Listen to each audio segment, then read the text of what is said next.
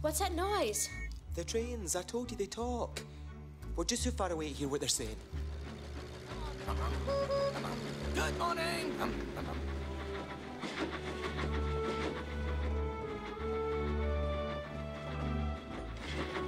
Annie, Clarabelle, there's Mr. Conductor. We found him.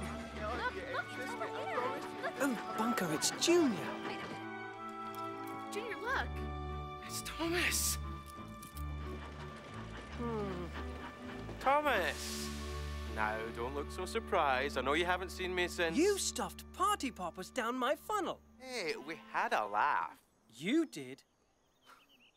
You're talking to each other. Ah, first prize. Lily, Thomas. Thomas, Lily. Now, where's my cousin? Hi. Hello, Lily. Welcome to Sodor. Come on, Lily. I'm very at home on trains.